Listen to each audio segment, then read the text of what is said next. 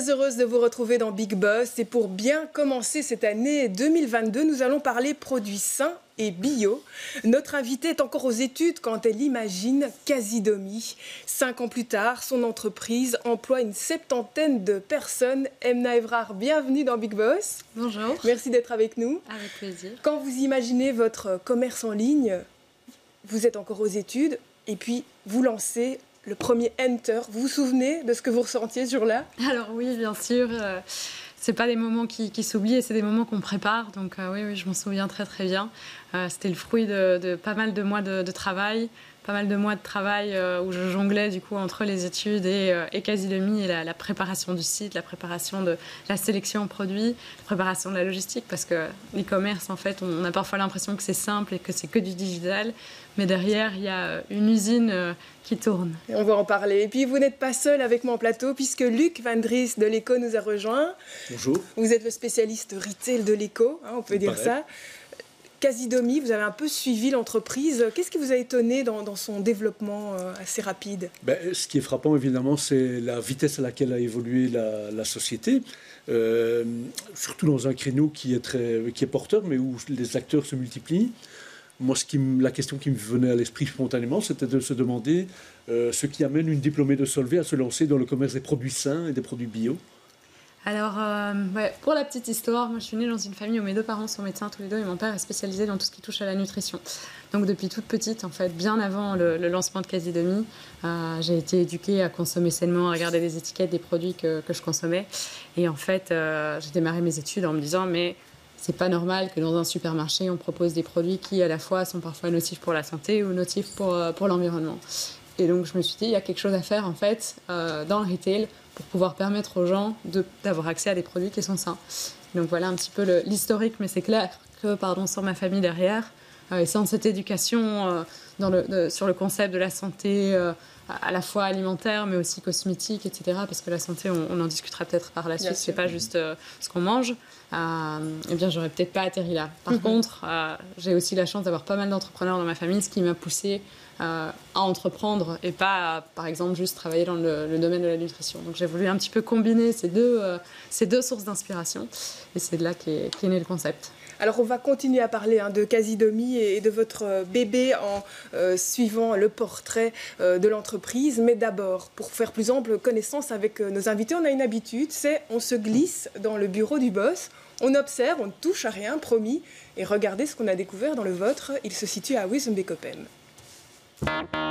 Bienvenue dans le bureau du Big Boss, de la Big Boss de Casidomi.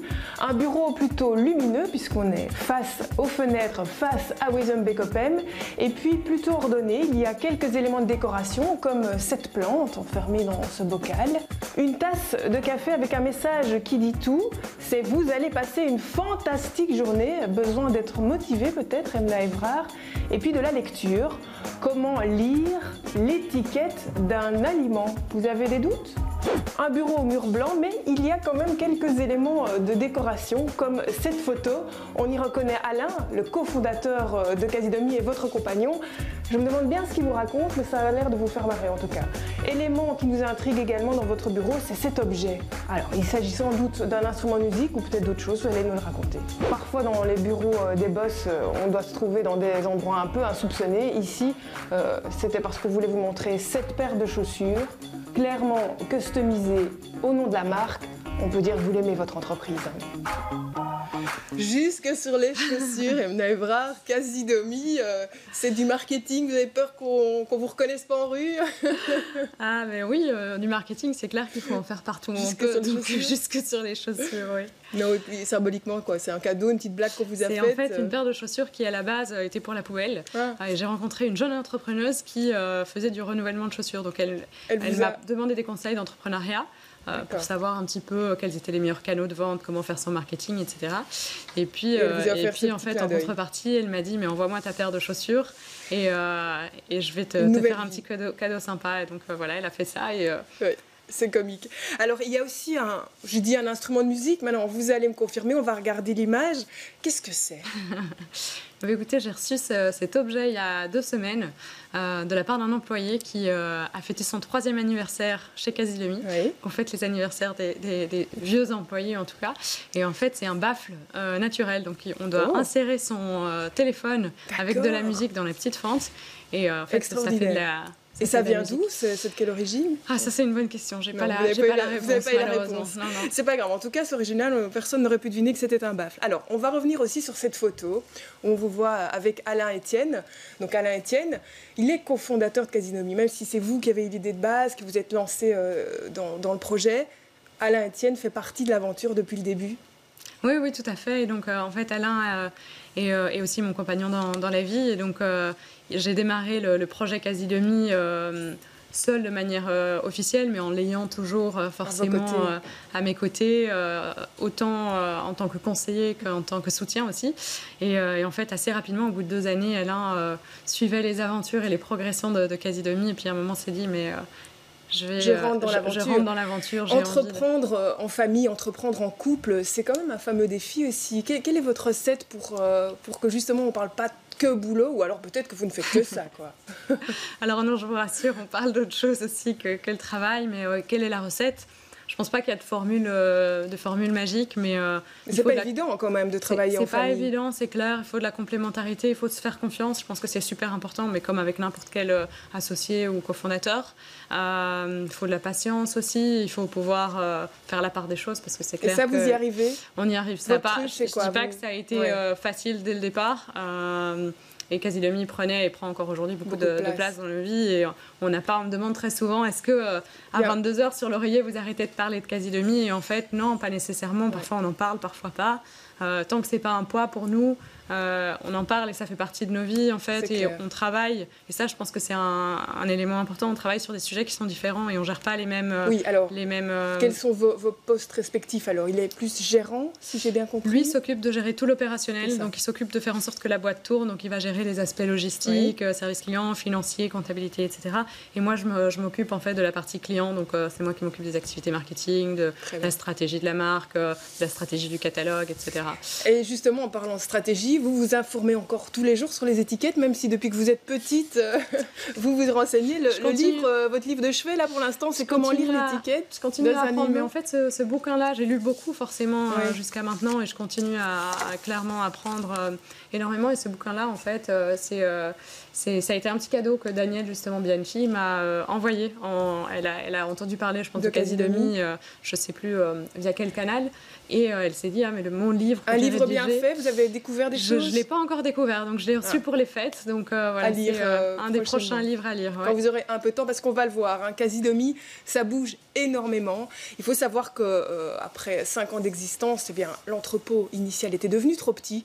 il y a un an, vous avez déménagé à Villevorde. Vous êtes passé de 1800 m2 à plus de 3000 m2. Vous avez quasi doublé la surface. Nous sommes allés sur place avec Frédéric Dehaeno. Le montage est signé Stéphanie Mira. Voici le cœur de Casidomi. Plus de 3000 m2 de produits sains et bio, allant de l'alimentaire, en passant par les cosmétiques, jusqu'aux produits d'entretien pour la maison. On a des produits de marque propre qui sont produits et développés pour nous. Donc là, on va directement chez le producteur, sans intermédiaire. Euh, ce qui nous permet d'avoir un produit qui est vraiment exact à ce qu'on veut, sans euh, additifs cachés, sans mauvaise surprise. Ça nous permet aussi une rémunération plus juste pour le producteur et un prix qui sera meilleur pour le client. Donc tout le monde est un petit peu gagnant dans cette chaîne-là. On a euh, des produits en vrac aussi qu'on vend. Alors on va acheter par exemple une, une tonne de flocons d'avoine directement à un producteur. Elle va être livrée chez notre partenaire à Andrek qui s'appelle Travi, c'est un atelier protégé. Le dernier type de produits qu'on vend sont des produits de marque tierce, donc des produits pour lesquels nous, on est juste en revendeur. Pour traiter les commandes réalisées uniquement sur Internet, une trentaine de personnes parcourent les allées de cet entrepôt.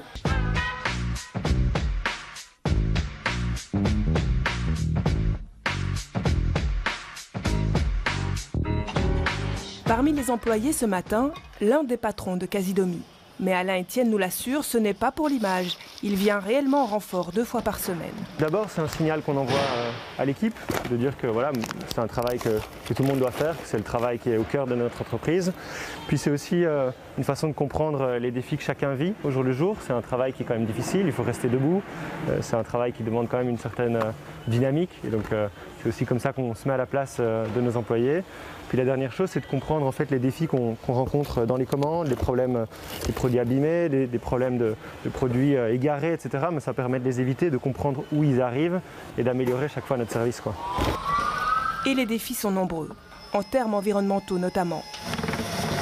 C'est pourquoi l'entreprise a cherché des solutions pour diminuer son impact au niveau de l'emballage des produits. Nous a proposé cette machine qui permet donc de broyer euh, les cartons. Euh, et, comme vous voyez, après ça devient des petits euh, cartons matelassés qui peuvent être mis dans les commandes directement pour protéger.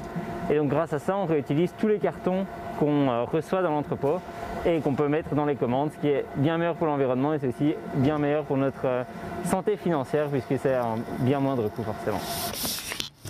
Quant à cet adhésif, il est fabriqué à base de pelure de pommes de terre. Boostée par la crise sanitaire, la start-up créée en 2016 connaît aujourd'hui un succès considérable. En quelques chiffres, quasi demi, c'est comme je le disais, 70 personnes, c'est 4000 euh, produits sur le site, c'est quand même euh, un certain catalogue. En termes de chiffre d'affaires, c'est plus de 10 millions de chiffre d'affaires euh, l'an dernier. C'est aussi quelque chose qui devient quand même important. La plupart des e-commerce qui fonctionnent, c'est Amazon qui expédie 2-3 euh, produits, éventuellement de 2-3 entrepôts différents. C'est assez rare des e-commerce qui arrivent à trouver une recette pour expédier parfois 100 produits dans la même commande. Euh, et c'est des petits produits, on voit ici c'est des produits pour bébés, ça vaut 50 centimes, 1 euro. Donc il faut vraiment avoir une, chaîne opérationnelle qui, est bien rodée, sinon euh, ça ne fonctionne pas. Quoi. Donc non, c'est vraiment tout un apprentissage et ça commence à fonctionner. Plus de 100 000 commandes ont été expédiées l'an dernier partout en Europe, mais principalement en France. Deux tiers des colis partent en effet chez nos voisins français. Un tiers des commandes est réalisé pour des clients en Belgique. Et voilà le petit paquet prêt à partir. Alors Emna Evrard, est-ce que vous aussi, vous allez de temps en temps mettre la main à la pâte? Alors oui, je vais de temps en temps. On a des, grosses journées. De temps en temps, quand il y a des, euh, promos ou ben, déménagements, c'était aussi euh, intense. C'était 60 personnes pendant trois jours, euh, de 7h du matin à, minuit. Donc oui, il y a des moments où j'y suis aussi. Après, c'est important aussi que chacun respecte bien son rôle. Je le mentionnais, la séparation des, rôles quand on est plusieurs associés fondateurs est super importante. Mais j'y vais aussi parce que ça inspire les personnes en logistique, ça leur donne de la valeur, c'est l'occasion aussi pour eux de poser leurs questions, etc. Donc j'essaye aussi de m'y rendre autant que je peux, oui. Alors, un service logistique, un entrepôt qui est soumis à rude épreuve, on l'a vu, euh, euh, parce qu'il y, a ces commandes qui affluent. Et puis il y a aussi, oui, ce virus qui nous embête de télétravail, il y a les quarantaines. Est-ce que là, vous êtes aussi soumise à pression? Est-ce qu'au niveau gestion du personnel, c'est compliqué pour le moment pour vous? Alors oui, de manière transparente, c'est compliqué. On a des absences, qui, des taux d'absentéisme en fait qui explosent si on compare à avant la crise sanitaire. Ça n'a rien à voir. Et il y a un challenge en permanence et ça se fait au quotidien parce qu'on ne sait pas forcément qui va être malade le matin quand euh, mhm. la journée démarre. Donc il y a un challenge en permanence d'adapter les effectifs, de recruter en last minute si c'est nécessaire. Et c'est facile ça Vous trouvez facilement C'est pas facile, c'est pas facile et donc on doit souvent faire appel aussi à euh, des intérimaires, mais les intérimaires ça coûte plus cher. Donc en fait on grandit, les volumes sont plus importants, mais, en fait derrière les coûts sont plus importants aussi. Donc c'est c'est pas forcément simple, c'est pas forcément simple non plus en termes d'approvisionnement. Les équipes, ceux qui font tout ce qui est gestion des achats, euh, c'est pas facile parce qu'il y a des produits qui sont en rupture de stock depuis des mois. Il faut pouvoir trouver des matières euh, euh, premières pour les remplacer, etc. Donc, vous sentez que la crise peut être un, frein dans certaines évolutions. Après, c'est aussi un très bon apprentissage parce que nous, ça nous a permis aujourd'hui d'être une boîte beaucoup plus agile, en fait, de faire face à plus, rapidement à des, circonstances exceptionnelles. Il y a eu à plusieurs reprises des, des, annonces de la part des, gouvernements, que ce soit en Belgique ou en, ou en France, qui ont eu un impact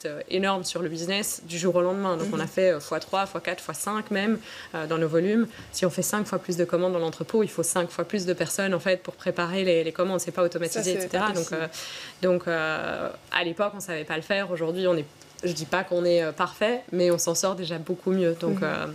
donc oui, importance de mettre des, des, process quand on grandit. Et le, Covid a aussi eu ses, ses, points positifs en termes d'apprentissage. On va continuer à parler expansion hein, de Casidomi avec vous, Luc, avec euh, ce chiffre que vous avez euh, voulu mettre en avant. On va le voir tout de suite. Abonnement Casidomi, on en est où, euh, Luc? Ben, on a, Vous avez dépassé la barre des, franchi la barre des, 20 000. Et moi, ce qui me frappait, c'était cette formule d'abonnement, justement. Est-ce que c'est pour, pourquoi cette formule d'abonnement? Est-ce que c'est une manière de, je vois bien la logique qu'il y a c'est fidéliser le client, mais pour l'entreprise, comment est-ce que vous faites pour attirer le client dans un premier temps alors pour attirer le client, il y a beaucoup de canaux marketing euh, qu'on utilise. On utilise pas mal de, personnes pour euh, euh, recommander le site de Casilomi. C'est un des canaux qui fonctionne d'ailleurs le mieux, la recommandation, que ce soit mhm. via des personnes qui sont actives dans le corps médical, comme des naturopathes, des médecins, etc., des influenceurs. Le parrainage est aussi un canal, donc nos clients, quand ils sont contents, ils en parlent autour d'eux. Donc les personnes, ça reste, on n'y pense pas toujours quand on parle de, de digital, etc., mais les personnes restent un, très bon canal d'acquisition. Euh, on fait beaucoup de marketing aussi sur nos réseaux sociaux, sur, euh, sur Facebook, sur Google, les, les choses que tous les e-commerçants font. Euh, on fait un peu de presse. Mais ici, le système d'abonnement, c'est quand même 100 euros pour pouvoir accéder à, votre catalogue. Ouais, C'est pas rien. C'est pas rien, c'est 80 euros, c'est pas 100 euros. c'est pas rien, mais 85% de nos clients rentabilisent ce, ce, ce, montant. Donc ce qu'on constate en fait, c'est que pour une personne qui est consommatrice régulière, euh, de produits sains, euh, mais c'est très très vite rentabilisé. On fait en moyenne, un client chez Casilomi fait en moyenne 25 euros d'économie par commande. Donc il suffit de, de, commander euh, quatre fois pour que l'adhésion soit rentable en fait. et en sachant qu'on a des produits avec de la récurrence, donc il y a des produits qu'on peut acheter très régulièrement, hein, des sauces mhm. tomates, des pâtes, du papier toilette, même fond dentifrice les gens ne viennent pas chez Casidomi pour acheter juste une fois leur course et euh, plus entendre parler du concept pendant, euh, des, mois ou des années. Euh, pour revenir sur les avantages de l'abonnement, ben oui, il y a de la récurrence. un des autres avantages, c'est le fait que comme il y a en fait euh, cet engagement qui a été fait, les gens ont aussi envie de rentabiliser euh, cette adhésion. Et donc, on n'a pas besoin de réinvestir comme doivent le faire beaucoup de, sociétés, euh, notamment dans le retail. On n'a pas besoin de réinvestir en permanence en marketing. Donc, une fois qu'on a acquis un client chez nous, on envoie des emails de temps en temps pour leur, les informer sur les nouveautés, etc. Mais on n'a plus besoin d'aller payer Facebook, Google, etc pour pouvoir les, faire revenir. C'est ça. Vous n'avez pas commencé d'emblée avec des abonnements. Est-ce que vous avez senti une différence sur, bah, sur l'évolution de l'entreprise Alors oui, oui, on n'a pas commencé euh, du tout directement et on a, on a senti plusieurs impacts. Le premier, ça a été sur la fréquence d'achat. Donc on s'est mis à avoir des clients en fait qui achetaient bien plus régulièrement. Les paniers moyens ont aussi augmenté parce qu'on a eu... Euh, un intérêt, les clients ont eu beaucoup plus d'intérêt à concentrer les achats, leurs achats chez nous. Et donc, par exemple, à l'époque où ils pouvaient venir juste pour quelques produits alimentaires, aujourd'hui, ils veulent faire toutes les catégories du site et s'assurer que le maximum de produits peut être acheté chez Casilomi et pas ailleurs, parce qu'ailleurs, il n'y a pas de, de, réduction. Et le dernier point, ça a été en fait euh, l'ouverture à un public moins aisé parce qu'on sait que les produits sains, aujourd'hui, ben, c'est pas donné pour tout, c'est pas donné à tout le monde, les prix sont plus élevés, etc. Et donc, grâce à ce modèle de l'adhésion, les prix sont plus bas et donc on peut toucher qui? Ben, Les jeunes, qui euh, très souvent, c'est pas eux qu'on voit dans les, dans les supermarchés bio ou dans les supermarchés de produits sains, et euh, les personnes qui ont potentiellement moins de moyens et des grandes familles à nourrir. Et donc, vous êtes concurrentiel par rapport au, au, circuit classique, je dirais? On est concurrentiel euh, par rapport au circuit classique, oui, tout à fait, pour des produits qui sont plus qualitatifs. Oui, c'est ça. Avec, avec le, le, modèle de l'adhésion, forcément. Mhm. C'est ça. Bon, alors maintenant, il y a le chiffre des 20 000. Euh, c'est la situation où vous avez franchi cette barre. Dans votre tête, votre ambition, c'est combien? Alors, notre ambition, en fait, moi, j'ai lancé Casidomi parce que je voulais avoir de l'impact. Je n'ai pas lancé Casidomi en me disant, mais voilà, c'est ça le chiffre que je veux, que je veux atteindre. Aujourd'hui, je suis convaincue que euh, la population doit changer ses, habitudes de consommation. Et on le voit d'une part, euh, d'un point de vue santé, on a une explosion de, maladies chroniques, de diabète, d'obésité, etc. Et d'autre part, pour la planète, alors, je ne dois pas vous, vous, réexpliquer tout ce qui est en train de se passer, mais il faut qu'on change aussi euh, les produits nos habitudes de consommation de manière générale. Et donc, je pense qu'il faut avoir de l'échelle. Je dis ça parce que je pense qu'aujourd'hui, il faut avoir de l'échelle si on veut avoir de l'impact. Et donc, nous, on a une ambition qui est européenne, pas de rester juste sur le, marché euh, francophone, euh, majoritairement comme c'est le cas aujourd'hui avec la Belgique et, la France. Donc, on veut aller chercher euh, des centaines de milliers de, clients, et ça à travers l'Europe dans les prochaines années. On a démarré le marché néerlandophone en janvier 2021, donc euh, ça va faire un an. Euh, autant la Flandre que la Hollande, euh, mais c'est encore, c'est presque une nouvelle start-up en fait parce que c'est des habitudes de consommation différentes, c'est parfois des produits différents. En Hollande, on consomme pas des produits où ouais, le nom est écrit en grand en français dessus, donc il faut adapter aussi le catalogue. Et c'est là qu'intervient l'atout, un des gros atouts de la marque propre Casilomi, parce que c'est une marque qui est internationale en fait. Donc on peut la vendre en Pologne. Vous êtes à combien de pourcents de marque propre pour l'instant On est à 4-5% pour 30% des ventes. Donc c'est vraiment une marque qui, qui, fonctionne très très bien. Après, ce qu'on développe, c'est des produits très simples. notre proposition de valeur, c'est vraiment la qualité au meilleur prix. Donc on va s'assurer que la composition soit la meilleure possible, mais avec un prix qui est intéressant. et ce sont des produits de la, consommation quotidienne en fait. Donc mhm. tous nos produits de marque propre, n'importe qui doit pouvoir les acheter en fait assez facilement. On va pas commencer à développer des produits euh, compliqués qui s'achètent euh, seulement euh, de manière occasionnelle par les consommateurs. on, sait qu'en 5 ans, Casidomi a déjà procédé à plusieurs levées de capitaux, a levé plusieurs millions d'euros. Euh, on sait aussi qu'en Belgique, on n'investit pas facilement dans les entreprises qui ne sont pas d'emblée euh, rentables, euh, ce qui est votre cas, à ma connaissance. Vous ne, vous ne l'êtes pas encore. Est-ce que vous avez le sentiment que les choses sont en train de changer du côté des investisseurs? Est-ce que c'est votre créneau spécifique qui, qui plaît dans votre faveur? Alors oui, je pense que les choses évoluent, que la Belgique se rend petit à petit compte qu'il faut qu'on crée des champions en fait, et on, on commence à en avoir. Hein. Pour ne pas euh, citer Odou, par exemple, c'est un, champion dont je pense euh, la Belgique peut être très fière, mais c'est pas les seuls. Il y a Chopal en France aussi, donc on commence à avoir des très belles boîtes. Mais pour ça, c'est clair qu'il y a du risque à, prendre. Euh, quand je compare le marché français, où nous, on est quand même assez présent, il y a beaucoup plus de fonds, il y a beaucoup plus de prise de risque, il y a beaucoup plus d'investissement dans la technologie, donc il y a une potentiellement aussi une meilleure compréhension en fait des boîtes technologiques, etc. Euh, donc c'est aujourd'hui plus facile qu'avant, je pense, d'aller trouver des fonds en Belgique quand on a un concept qui est novateur, quand on a un concept qui va requérir en fait pas mal de fonds, mais qui est même pas encore lancé. Alors qu'à l'époque, c'était inimaginable. En fait, un investisseur disait mais oui, mais moi je veux d'abord voir que ça fonctionne. Alors que c'est pas toujours possible. Euh, dans, tous les cas, nous, on a pu commencer avec peu de fonds au début, avec des capitaux, euh, avec mes capitaux propres, 6500 euros, qui était le montant minimum pour créer une SPRL. Euh, c'est possible. Et c'est possible, c'est possible dans certains. Bah, après, j'avais pas le site que j'ai aujourd'hui, j'avais pas un entrepôt de 3000 m2, etc. Mais j'ai pu tester, mhm. j'ai pu pivoter, installer le système de l'abonnement, etc. Euh, mais donc pour revenir au, au, de fonds, nous on a pris la décision aussi de pas euh, lever directement des millions, mais plutôt de le faire petit à petit. Et on a conservé les mêmes investisseurs qu'historiquement. Pourquoi? Parce que euh, petit à petit, en fait, aussi la boîte grandit. ça permet aux associés fondateurs de, de, de, valoriser davantage leur concept et donc de moins se faire diluer avec les levées de fonds parce que si on avait levé par exemple 5 millions dès le départ, mais la boîte valait pas grand-chose et donc on se retrouve fondateur mais avec moins de la moitié de, de, sa boîte, euh, ce qui peut démotiver, ce qui euh, bloque aussi potentiellement d'autres levées de fonds par la suite. Donc c'est un choix qu'on a fait, euh, qui n'est pas forcément le, seul choix. Mais que vous ne regrettez pas visiblement. Qu'on ne regrette pas, non, qu'on ne regrette pas. Et puis on a un, un, un modèle aussi, et les gens ne le savent pas forcément toujours, mais dans le retail, euh, les marges sont faibles et donc il y a une question de volume qui est énorme. Il faut faire du volume dans le retail, sinon on s'en sort juste pas. Et il y a déjà des gros players, on le mentionnait, il y a des gros, il y a des, gros acteurs. Hein. Colroy, Deleuze, Carrefour, c'est des gros acteurs en Belgique. Avant d'arriver à faire des volumes similaires, il faut y aller, il faut investir en marketing. Ce sont des boîtes qui ont aussi des budgets qui ne sont pas les, mêmes que les petites startups. Et donc il faut pouvoir atteindre ce euh, dirais, seuil de volume pour pouvoir atteindre la rentabilité, qui est une chose qu'on n'a pas encore atteint. Alors quasi demi-grandi et euh, on a pour vocation à terme, bien évidemment, d'avoir un, business qui est sain et d'atteindre la profitabilité. Mais pour ça, il faut atteindre ce, palier de volume. Et c'est pour ça qu'il faut aussi qu'on augmente le nombre de, membres sur le site. Parce qu'au plus on a de membres, et au plus on a des revenus qui mais sont. Mais on l'a compris, on ne saura pas à combien vous voulez arriver. vous êtes intarissable, Emna Evrard. Hein, on pourrait vous écouter longtemps, mais c'est déjà la fin de cette émission. Alors je voudrais quand même aborder un aspect important, c'est est-ce que e-commerce et environnement, ça peut faire bon ménage euh, On l'a vu, vous faites pas mal d'efforts au niveau euh, voilà, de l'emballage, mais il y a encore tout ce qui est distribution. C'est aussi quelque chose euh, qu'on observe. C'est pas forcément évident de rester environnement friendly quand on distribue tous ces, tous ces colis. Quelle est votre politique en la matière et est-ce que vous allez innover? Alors oui, on, et on innove au quotidien, on essaye en permanence de chercher quelles sont les, meilleures solutions. Peut-être une précision, on pense souvent que l'e-commerce est moins polluant, mais euh, si je prends le, cas de Quasi on a, nos fournisseurs nous livrent directement. On a une centrale d'achat et de là partent tous nos colis en fait directement vers euh, des centres de tri et puis chez les, euh, chez les, les, dans les petites camionnettes en fait qui vont de toute façon chaque jour passer dans la rue des clients dans la plupart des cas.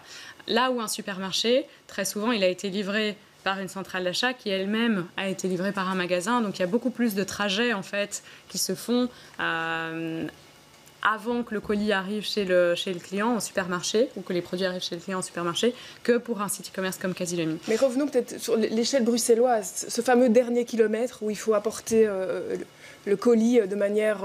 on le sait, à Bruxelles, on a beaucoup de, sociétés qui proposent de faire ça en triporteur, par exemple. C'est quelque chose que vous pensez parce que vous n'avez pas ce système-là. C'est que des camionnettes chez vous. Exactement. Donc pour le moment, on travaille avec des. on travaille. On a beaucoup de transporteurs différents parce qu'on les adapte en fait. En, par exemple, en région parisienne, Île-de-France, c'est que des véhicules électriques parce qu'on a la possibilité de le faire, parce qu'il y a des, volumes qui sont suffisants. Et à Bruxelles, c'est pas possible pour à le Bruxelles, il n'y a pas encore de possibilité de le faire avec le transporteur avec lequel on travaille. Par contre, c'est un transporteur qui a l'avantage euh, de ne travailler que pour nous et qui du coup peut repasser chercher les colis des mhm. clients quand ils sont vides. Euh, et donc, il n'y a pas de déchets. Nous, on récupère, mais comme vous l'avez vu, tous les, euh, tous les colis. Et, donc, oui, au moins, il a de mobilité, on va dire, il y a encore moyen. Il y a de, encore moyen. Après, une, autre bonne recommandation, c'est de se faire livrer en point relais parce que en fait, c'est l'idéal parce que les mhm. points relais, souvent, ils sont proches soit de son lieu de, travail, puisqu'il y en a beaucoup, soit de son domicile. Et donc, euh, et donc, par exemple, nous, on offre la livraison en point relais à nos membres. Parce que mhm. c'est un mode de, livraison qu'on juge meilleur pour l'environnement. On pourrait consacrer deux émissions à Casidomi. Je sens que Luc a encore envie de poser des questions, mais la régie me dit qu'il faut, il faut conclure malheureusement. Euh, on peut dire qu'en tout cas, vous êtes encore euh, prêt à vous étendre puisque vous recrutez. Hein, vous recrutez à peu près 10 personnes euh, pour l'entrepôt, d'autres encore. Donc Casidomi, c'est une histoire qui ne fait que commencer. Merci à tous les deux d'avoir été présents dans cette émission. On entendra sûrement encore parler de vous. Merci à vous d'être fidèles à Big Boss. On se retrouve dans un mois un nouveau Big Boss. À bientôt.